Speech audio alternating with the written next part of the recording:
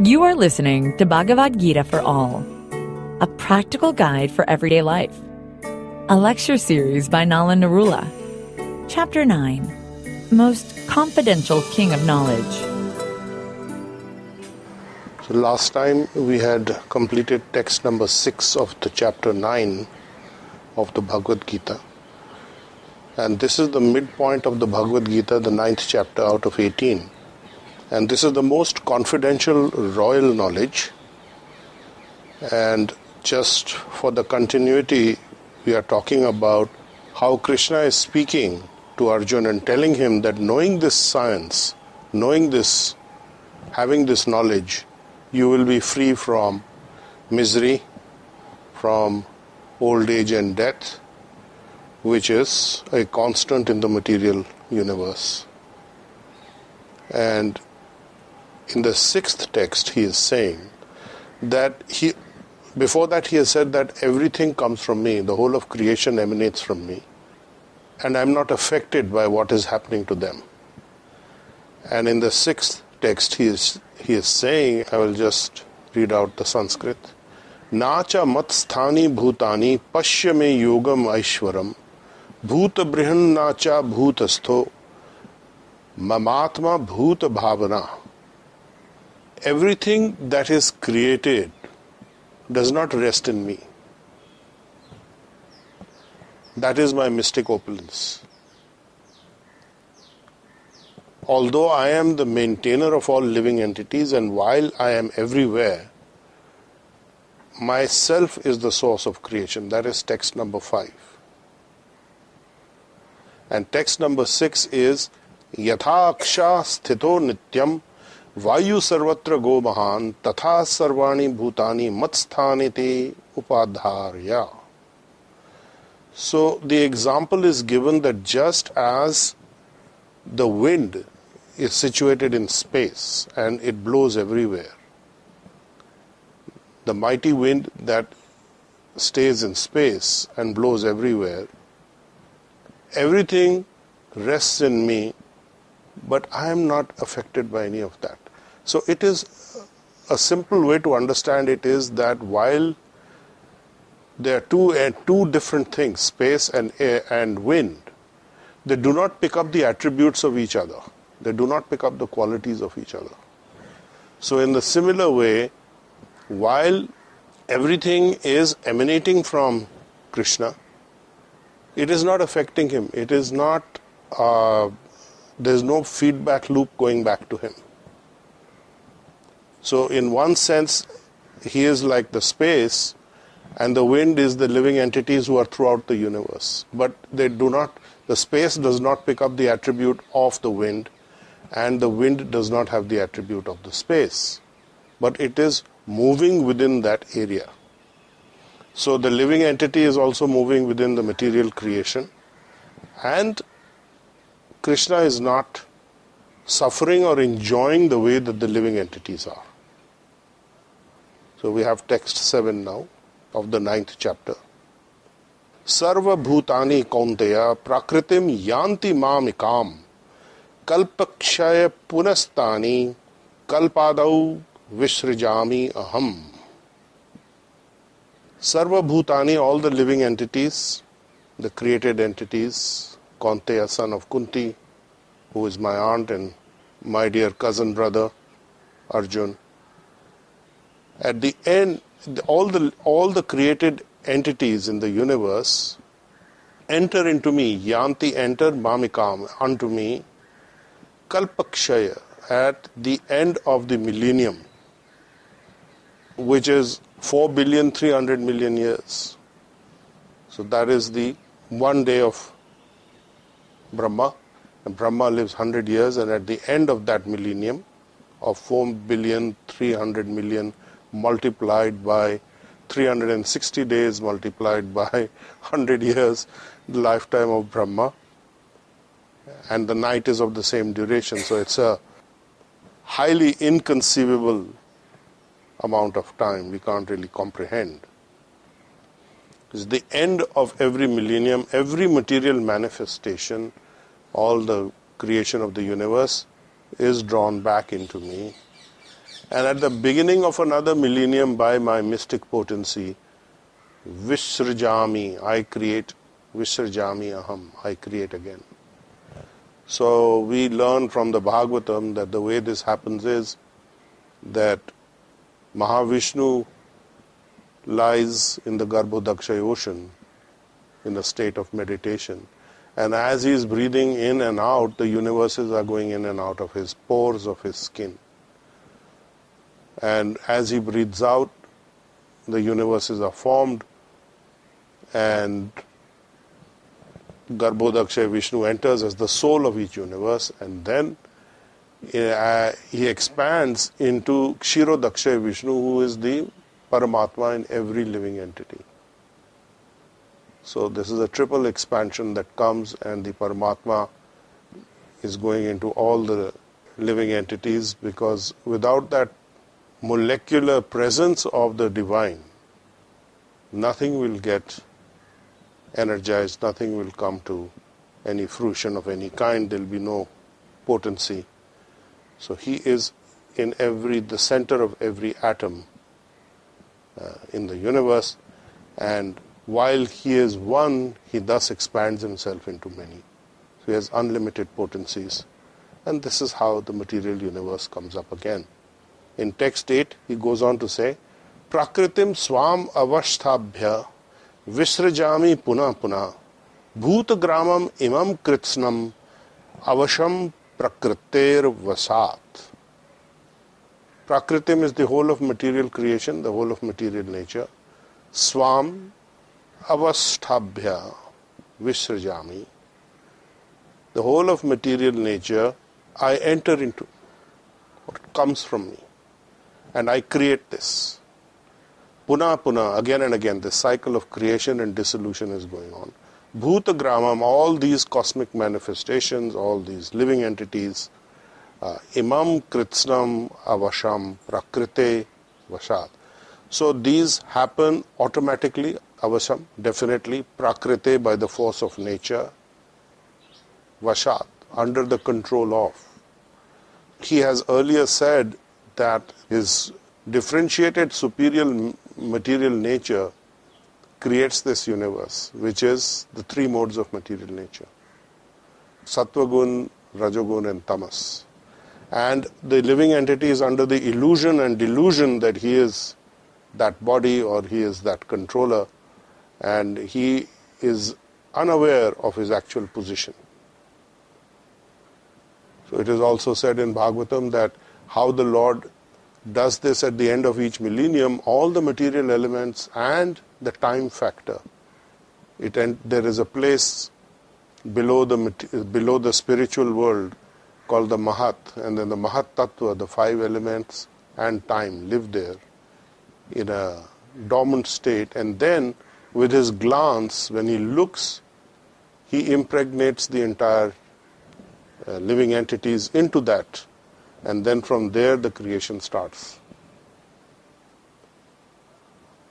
Text number 9. Nacha mam tani karmani nibadhananti dhananjaya udasina vadashinam asaktam teshu karmasu. Nacha mam tani karmani never also mean tani those karmani activities nibadhananti to do not bind me. Dhananjaya, conqueror of riches, Arjun. Udasinavat Asinam. Udasinavat Asinam, situated as though neutral, uh, unaffected, asaktam, without any attraction, tesu, in them, karmashu. I am uninterested. I am a neutral party. None of this work, Dhananjay, binds me. It cannot bind me. I am always detached, always situated as though neutral. So while the, the supreme divine's aspect as Paramatma may be sitting in a humanoid creature or in an animal or in a plant or a bacterium or anything like that, he is unaffected. So, this again, just as a side note, when people are thinking that I am serving the divine by serving the poor, the Ridra Narayan Seva, say, I am unaffected by that.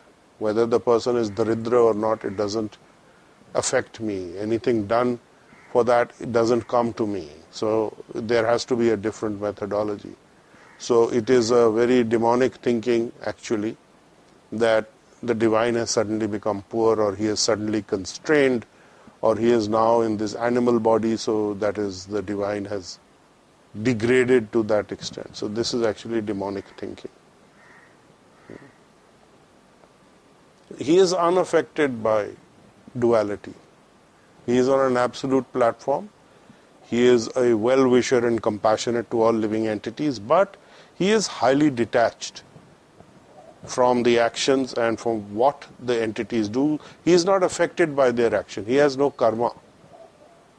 He is not bound by karmic consequences, by what that entity does or what he himself does.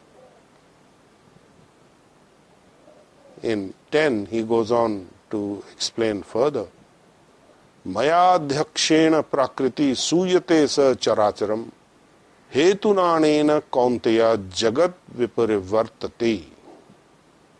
मया अध्यक्षेन under my direction अध्यक्ष direction director प्रकृति material nature सुयते manifests सचराचरम with moving and unmoving हेतुना living entities for this reason अनेन कौन्तेया जगत viparivartate viparivartate is working. Jagat means the cosmic manifestation the universe. So under my super, superintendence or under my direction under my direction, material nature manifests these living entities who are moving and unmoving, and the whole annihilation creation cycle is going on automatically under my direction. Text 11 अवजानती माम मूढ़ा मनुष्यम तनुमाश्रितम परम भाव अजानंतो मम भूत महेश्वरम अवजानती माम मूढ़ा foolish people they do not know me मानुष्यम तनुम आश्रितम thinking that I have come in a human form like theirs and it has the same qualities and the same attributes as theirs so they are thinking i'm humanoid just like them but they do not know my transcendental nature Param bhavam ajanata. They do not know. Ajanata. Do not know. Param bhavam. My superior, supreme, transcendental nature. Mama bhuta maheshwaram. And that I am the master of all that exists. I am the supreme proprietor. Maheshwaram means the greatest proprietor or the owner and I have control over everything that exists. So these are foolish people who are thinking that just because I have taken a form that looks like theirs, the qualities are also the same. So this is ignorance of a very great order. People do not understand my position, they do not understand that they are actually dependent on me and I have nothing to do with that. I am the creator and the maintainer of the universe. Eventually, the whole material manifestation is taking place under my direction, and there is no contradiction in my appearing in a form that is looking like a human being, but I am not an ordinary human being. Text number 12. Moghasha mogh karmano mogh jnana vichetasa rakshasim asurim chaiva prakritim mohinim shrita. Moghasha mogh karmana. Moghasha means frustrated desire, asha and mogh, mogh asha frustrated confused baffled at every step moga karmana Moga Karmana is a person who is again frustrated in material activities. Moga Jnana, frustrated in knowledge. Vichetasa, bewildered, confused.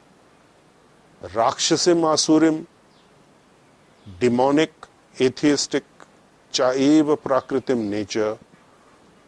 Mohinim, bewildering, Shrita. They take shelter of all the bewildering confusion that is available in nature, the illusory nature. The Prakritim is referring to the three material modes of nature. And he is saying those who are bewildered, they are taking shelter of this atheistic and demonic view. And in that confused, deluded, illusioned condition, all that they are doing, their hopes for liberation, their hopes for fruitive activities, and all culture of knowledge is all completely defeated because that is not leading them to any point of resolution. So there is some detailing of this. Very often people are thinking they have some knowledge and that knowledge will help them. They have some material opulence and they're thinking that that is going to get them ahead.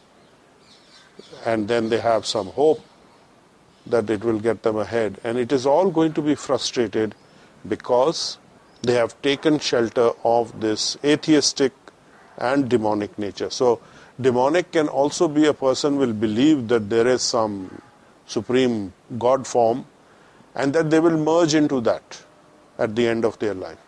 Brahmleen ho jana. So that is demonic thinking because it is actually spiritual suicide.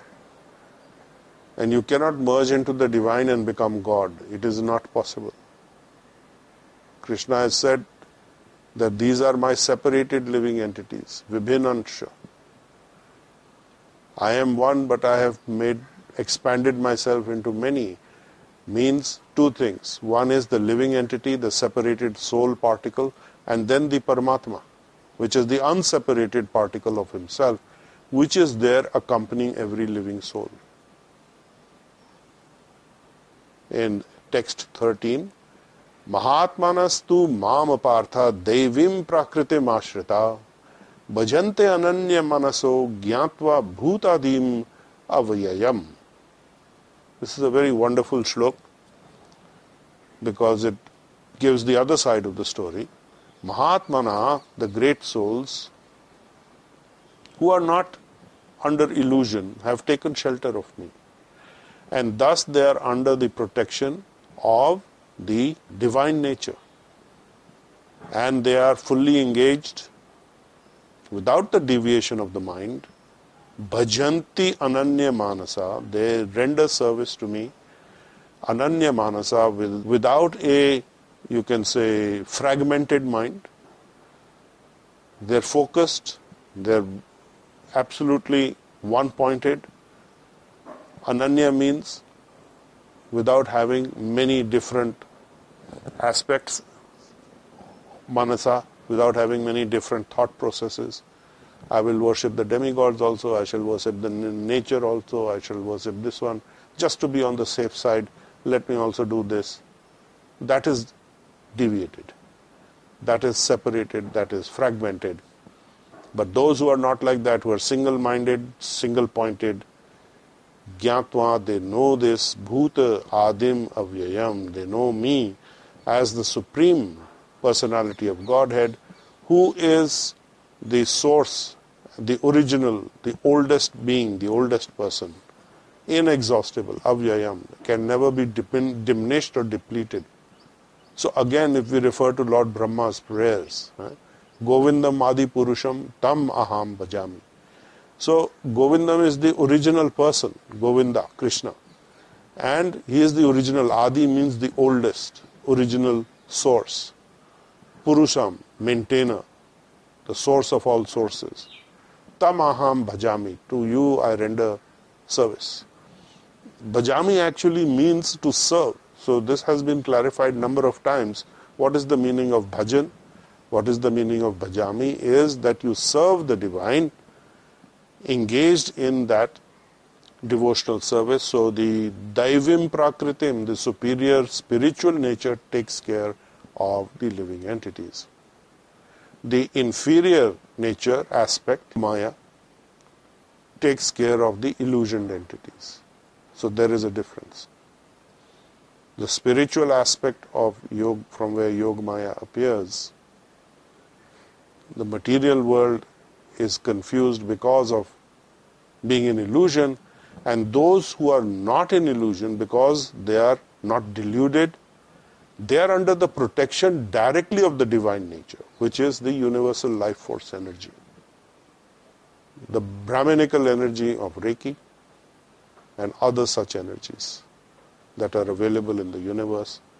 They have taken shelter of that and they render service to me in devotion. So if you are devoted to serving the divine's purpose, knowing that you have his energies available to you to help liberate yourself, then you are not frustrated in your search for liberation. So in the previous shlok, Krishna has said, Moghasa Mogha Karmano Mogha Jnana. So those who have frustrated hope, Mogasha, if you are connected to the healing energies of Reiki and the KQ force, which is the direct divine spiritual energies, having taken shelter of those, so there is no moghasha, there is no hopelessness, and there is no mogha karmano, there is no frustrated fruitive action. Because with the healing energies, you are channeling those energies to get the results, but without the binding consequence karma. So that is the second point. And then the third point, mogha jnana, they are confused in knowledge, they are frustrated. So as a healer, as you listen to Bhagavad Gita, as you get the advanced knowledge, uh, you begin to understand that there is no confusion. And you are not going to be frustrated because all the things that you were taught at a beginning stage of getting connected to the healing energies of Reiki and the KQ force, the full expansion is absolutely in line with what you were taught earlier about the nature and quality of the energy and what you can do with it and what it can do for you. And this is additional advancement in understanding and knowledge. So you will not be baffled or bewildered. No vichetasa. Only those who are atheistic and uh, demonic, they are going to be frustrated. So as healers, we are not to be frustrated and we have to understand this. Very often we find people saying, uh, you know, I channeled healing for this and that, it didn't work out and very bad, not so good. That is not an advanced knowledge. There are many reasons it, uh, that things don't work out. First of all, the divine is not your servant. It is not your order supplier. I write a requisition, put a chit and say, give this to me and khulja sim sim, everything is happening. I rub a magic lamp and it's happening. Not really. No. You will get what is required. You will get more than what you are deserving, that's for sure. As you would have found out during the course of your healing life, that you are actually receiving so much more than you can never even imagine, never even think of, and never even estimate how I actually got this. And then you fall into some kind of illusion or delusion thinking, you know, I deserve more. And you're not prepared to work for it, you're not prepared to do what is needed, then it is a problem. So it is important always to remain connected, and it is also very important to remain connected to the community, sadhu sangha. That is what keeps you safe. Because when you are connecting to other healers and you are enlivening each other with these topics of discussion or you are in the same zone, then you are getting more feedback that enthuses you and you continue to do more of your service to the divine. The further detailing of this happens in text 14 of the ninth chapter. Satatam kirtayanto mam yatantasche dridvrita namasyantascha mam bhaktya nitya yukta upasate satatam kirtayanto mam is always chanting satatam always kirtayanto mam chanting my glories. And yatantascha dridvrita with a determination. Yatantah working with firm determination. Namasyantah cha offering their obeisances to me mam. Bhaktya in devotional aspect in devotional mood, nitya yukta, always engaged, joint. Yukta means to link, to join. Uh, they worship, upasati. Upasana is worship. So always chanting my glories. What are they doing? Kirtane. So one of the injunctions is Kirtaniya Sadahari. Always chant the names of the glories of the divine who is the ultimate liberator. Hmm? So there is um, chanting, meditating, and then Vishnu Smaranam. Hmm? Remembering the divine with the determination, offering the obeisances in devotional service, perpetually, constantly, always engaged in the worship of the divine. So worship is happening in many different ways there is worship by your action, there is worship in many ways by uh, connecting with the divine, whether it is in the mind or it is in the deity form, the murti form, or it is in the amurtina form, the unmanifested form, or it is in the universal nature form. So one can look at the whole creation as being the body of the divine, that is also explained.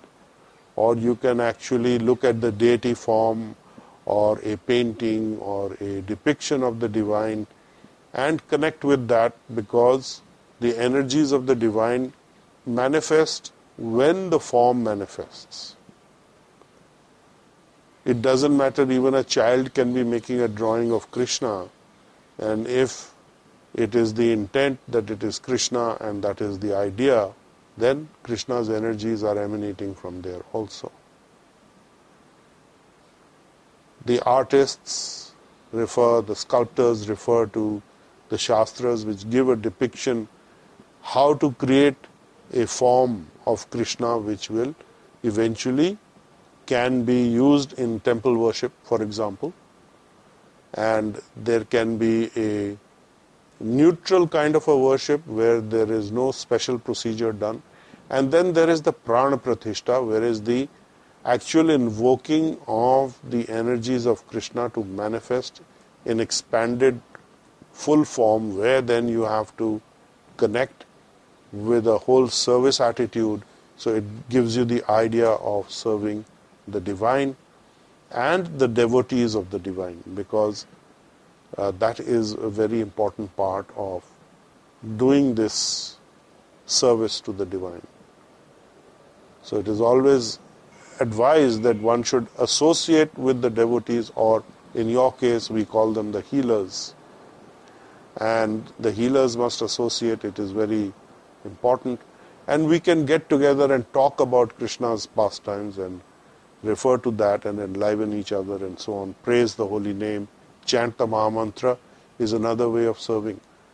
Uh, you chant Hare Krishna, Hare Krishna, Krishna Krishna, Hare Hare, Hare Ram, Hare Ram, Ram Ram, Hare Hare.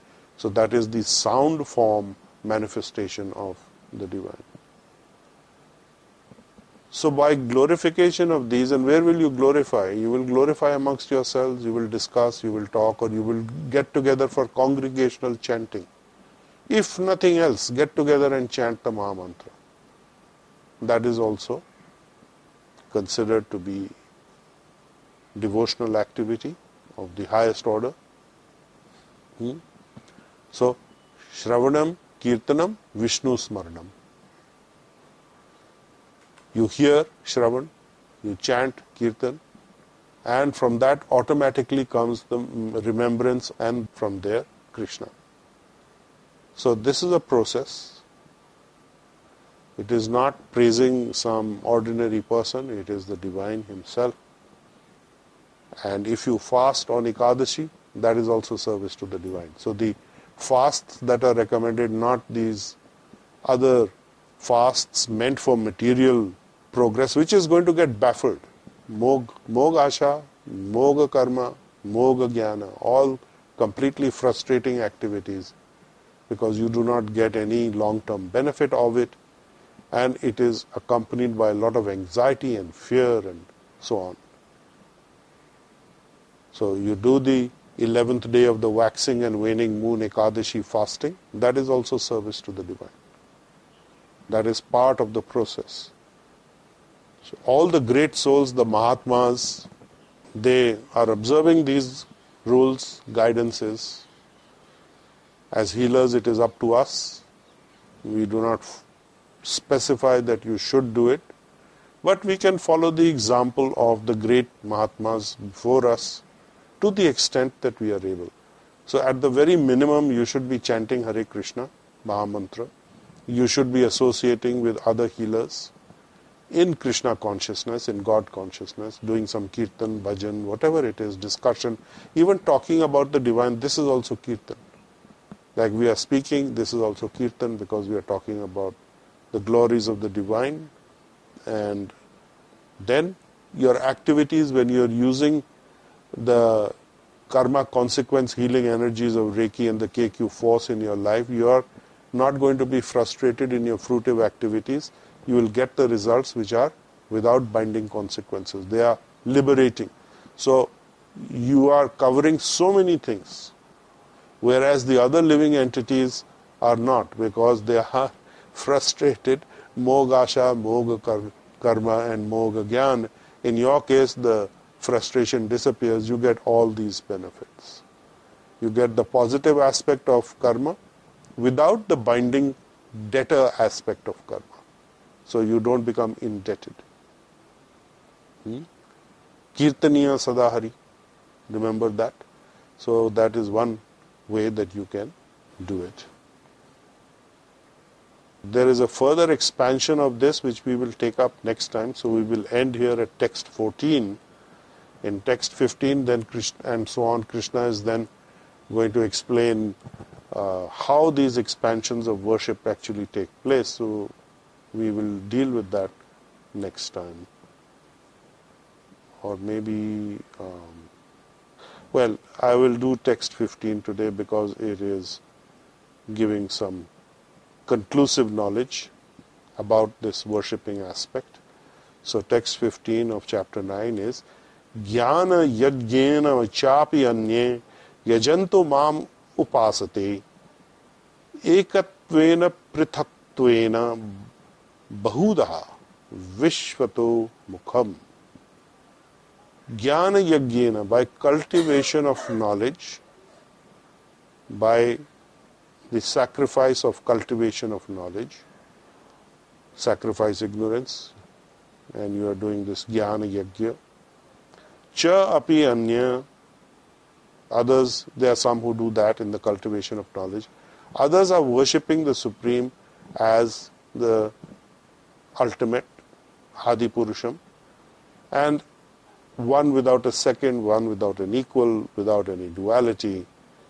And they're also worshipping as Vishwata Mukham, as the universal form. So we had mentioned that these are the various ways that one can connect with the divine. So one can worship himself actually as being one with the divine. So that is actually not a very good place to be. Because he is thinking that I am the divine, and that is actually not so good.